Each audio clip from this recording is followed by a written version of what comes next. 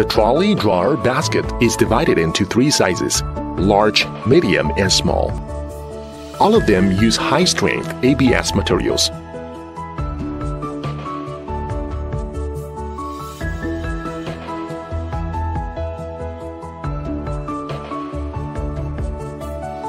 Equipped with easily extracted baskets for users. The partition can be freely added and adjust it according to your needs to achieve the classification and labeling of different materials.